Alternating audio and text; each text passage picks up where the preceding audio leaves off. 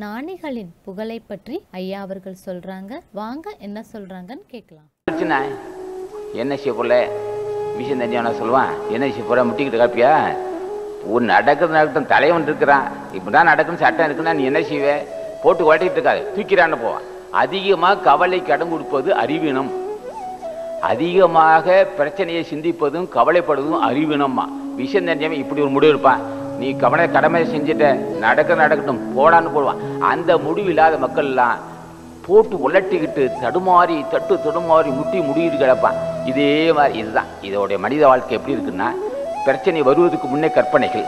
பிரச்சனை வந்த அப்படின்னா எப்படி தீர்க்கிறது எப்படி தீர்த்தான் வந்தது வரட்டும் போகிறது போகட்டும் நடப்பு தான் நடக்கும். திருவள்ளுவர் சம்மதி எப்படி நடந்துட்டு இருக்குது? அவனுடைய ஆசைப்படி தான் நடக்கும்? இந்த துன்பம் அவனாக தான் வந்திருக்குது. அவன் இதை தீர்ப்பான நினைப்பது மன அமைதி தருவது. இதுதான் முறை. இப்படி தான் நாங்கள் செஞ்சுருக்கோம்.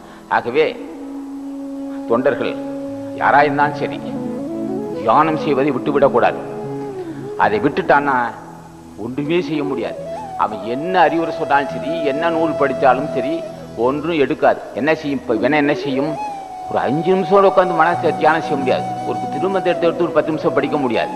வே அந்த வேலை இந்த வேலைனா என்னையா வேலை உனக்கு? சாவதற்கான வேலை செய்கிற நீ என்ன பிழைப்பதுக்கு வேலை செய்கிற நீ? என்னடா வீடு? என்ன வாழ்க்கை? என்ன லட்சியம்? என்ன பேங்க் பணம்? என்ன வரவு செலவு? என்ன புகழ்? என்னடா வாழ்க்கை உன் வாழ்க்கை? நிலைமை என்னாகும்? இப்படின்னு சொல்றதுக்கு ஒருத்தன் வேணும். இப்படி சொல்லலைன்னு சொன்னா அவன் என்ன செய்வான்? அது அப்படி இப்படி அவன் மதிக்கணும் இவன் மதிக்கணும். நம்மளுக்கு கார் வேணும் பங்களா வேணும். நாலு பேர் நம்மளை மதிக்கணும். எத்தனை பேர் மதிச்சு என்ன செய்ய போற? எத்தனை பேர் மதிச்சு நீ என்ன செய்ய முடியும் உலகமே மதிக்குதுயா? உன்னுடைய வாழ்க்கை எந்த அளவு முன்னே இருக்கிறேன் உன்னை எவ்வளவு ஆயிரக்கண கோடிக்கணக்கான மக்கள் உன்னை புகழலாம் பாராட்டலாம். புகழுக்குரிய லட்சங்கள் பல லட்சங்கள் குவிந்து இருக்கலாம் கோடீஸ்வரனாக இருக்கலாம் பெரிய பேச்சாளனாக இருக்கலாம் கல்வியாளனாக இருக்கலாம் பெரிய ம- இருக்கலாம். என்ன நீ செய்வ நீ? அது அத்தனை பேரும் புகழலாம். உன்னோட சாவை தடுக்க முடியுமா? உன் சாவை எதிர்ப்பதற்கு யோக்கியம் இருக்கா உனக்கு? அதை புகழ்கின்ற வந்தால் உன்னை காப்பாற்றுவானா? அது உன்னுடைய இருக்கிற பொருள் தான் உன்னை காப்பாற்றுமா? உன்னுடைய கட்டப்பட்ட வீடு தான் உன்னை காப்பாற்றுமா? நீ கற்ற கல்வி தான் உன்னை காப்பாற்றுமா? உன் திறமையெல்லாம் அசைக்க முடியாது. யமன் வந்து விடுவானே? அவனை கருணை காட்ட மாட்டானே? அநியாயமா கொண்டு விடுவான் பாவியவன். அவன் நல்லவனே. யாருக்கு?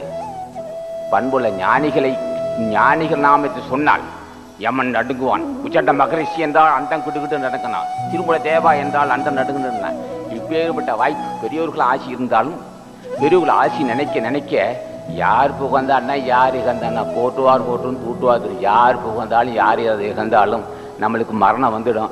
மரணம் வருவதற்கு முன்னே நம்ம தப்பித்துக்கொள்ளும் யான் ஏதும் பிறப்பஞ்சேன்? ஏற்பதுன்னு கண்கடை வண்ணார் திரும்ப திருமூல சொல்ல தே- மாணிக்கவாசர் யான் ஏதும் பிறப்பஞ்சேன்? இறப்பதன் கண்கடைவன் ஆசானது அருளுரைகளை தொடர்ந்து கேட்க அரங்கர் டிவிக்கு லைக் பண்ணுங்க சப்ஸ்கிரைப் பண்ணுங்க. மறக்காம பெல் பட்டனையும் கிளிக் பண்ணுங்க.